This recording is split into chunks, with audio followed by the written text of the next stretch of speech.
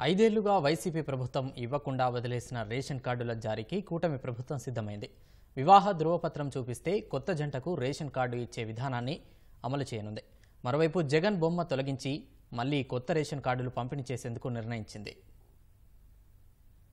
రాష్ట్రంలో కొత్త రేషన్ కార్డుల జారీ ప్రక్రియ త్వరలో ప్రారంభం కానుంది. వివాహ నమోదు ధృవీకరణ పత్రం ఆధారంగా వీటిని జారీ చేసే విధానాన్ని అమలు చేయనున్నారు. రెండు వేల పంతొమ్మిది ఇరవై నాలుగు మధ్య వైసీపీ ప్రభుత్వం రేషన్ కార్డుల్ని వదలకుండా జగన్ బొమ్మ ముద్రించింది. పార్టీ రంగులతో కార్డులు ఇచ్చింది వాటిని కూడా మార్చి కొత్త కార్డులు ఇవ్వాలని కూటమి సర్కారు నిర్ణయించింది. వైసీపీ హయాంలో రేషన్ పంపిణీ వ్యవస్థ అస్తవ్యస్తంగా తయారైంది. రాష్ట్రంలో ప్రస్తుతం కోటి నలభై ఎనిమిది లక్షల రేషన్ కార్డులు ఉండగా వాటిలో ఎనభై తొమ్మిది లక్షలకు ఆహార భద్రత చట్టం కింద కేంద్రం నిత్యావసరాలు అందిస్తోంది. మిగిలిన కార్డులకు రేషన్ ఖర్చు రాష్ట్ర ప్రభుత్వమే భరిస్తోంది. వీటిని కూడా కేంద్ర ఆహార భద్రతా చట్టం పరిధిలోకి తీసుకోవాలని రాష్ట్రం డిమాండ్ చేస్తుంటే నిబంధనలు అంగీకరించవని కేంద్రం దాటవేస్తోంది.